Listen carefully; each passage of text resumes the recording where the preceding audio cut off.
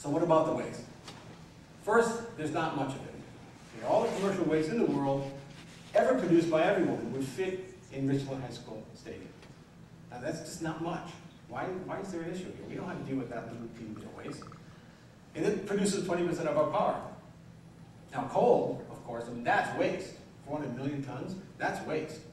2 billion tons of CO2, and even, you know, the rat, I think it's, this goes up the stack, naturally occurring uranium, thorium, and the daughter products, that's a lot of waste. So you get much more of a hit living next to a coal-fired power plant than you ever could next to a nuclear power plant.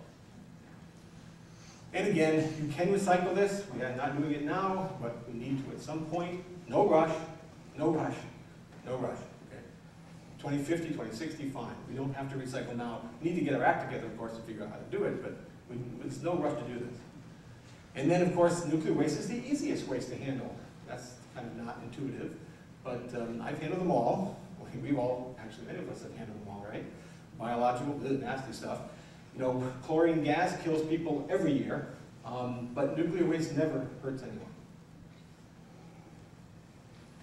And then, of course, there's WIPP. So those of you who know WIPP, um, that's great. Most of you don't know much about WIPP. Um, and if you do, it's probably in a bureaucratic sense. Okay, so here's WIPP. It's uh, about, about 30 miles east of Carlsbad, New Mexico. Um, it's in a very thick salt deposit. You've probably seen these trucks leaving Hanford.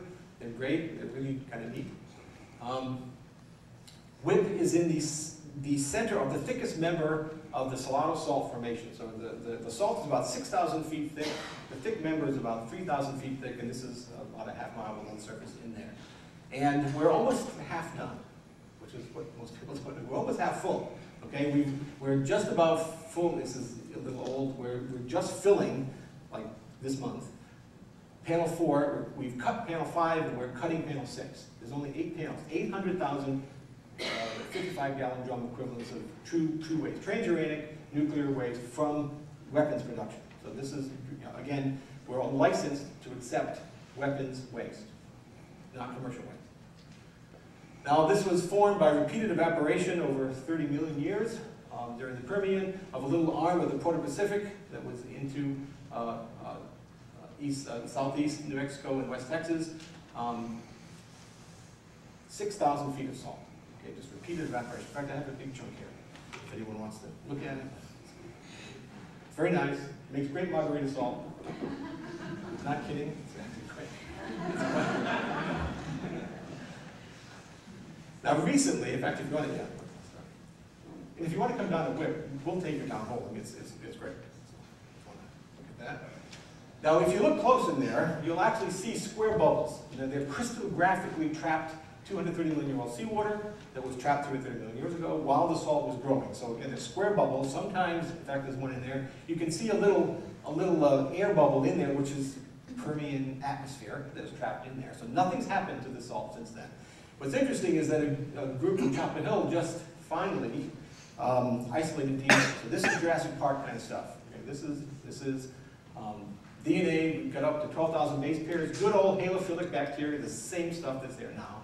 Nothing's happened. Nothing likes to live in salt water very much. Um, brine, actually 200,000 part per million sodium chloride. Um, we have bacterial husks and cell cellulosics from bacterial wall degradation, so it's, it's there.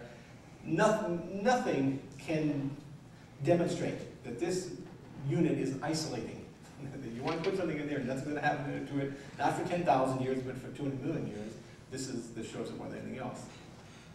So the reason it's still around is because there's no naturally occurring radioactive material in salt. There's no uranium, thorium, there's hardly any potassium 40, so there hasn't been any radiological de de degradation. It was never buried deep enough thermally degraded, so it never got above the denaturing point of DNA and proteins, which is about 41 degrees C. It never, uh, it, it, was removed, the, the deposition rate was fast enough that it was removed from cosmic ray interaction quick enough that it also did not degrade. So just the perfect situation, nothing else like this in the world. There's lots of salt in the world, but there's not any salt like this.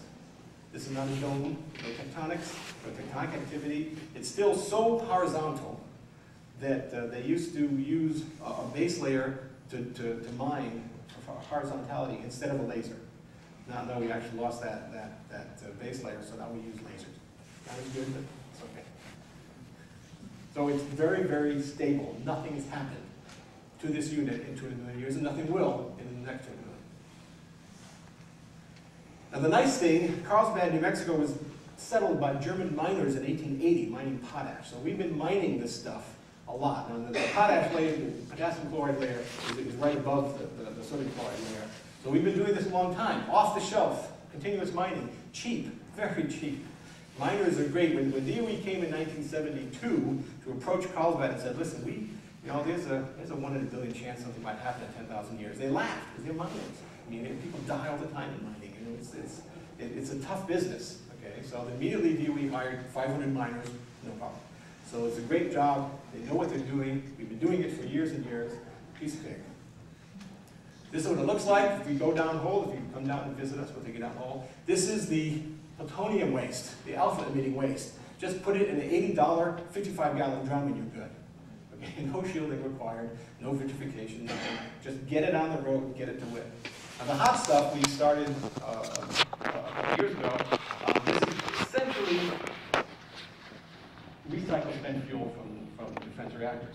Okay, so we know how to dispose of recycled spent fuel. It's hot stuff, it has CU 137, it's around 290. Don't really talk about that much, it's only about 2% of the waste, but it is the hot stuff. And we started shipping it um, in 2007. So it's know, great 32B cask, uh, I'm sorry, 72B cask. Um, there's only three drums in there, unfortunately. It's all done robotically the shielded cans, and then it's plunged into the wall in a pre-cut uh, borehole in the wall, and then plugged with a four-foot metal wrap cement plug. Very easy, very cheap, no problem. We know how to do it. So you can do this with spent fuel if you want, or recycled spent fuel, or whatever waste you, you have. It, it really is easy.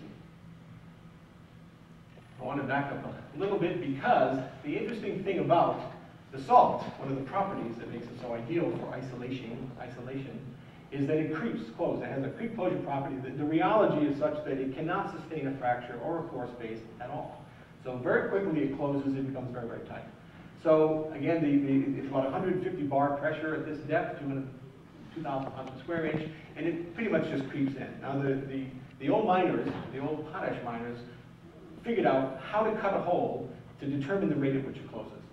So if you want something to stay open 100 years, you cut it into a cylinder because the stress is evenly distributed about the, the edge, it'll stay open 100 years. So the shafts are cylinders, of course. So they'll stay open as long as you want. Um, if you want to make your construction drifts, where, where you drive your little trucks and everything else, you make those squares because they will stay open 50 years, the life of the WIPP project. But if you want a waste room to close quickly in 10 years, you cut it into a long rectangle. So the waste rooms are long rectangles, they will pre-close in about 10 years.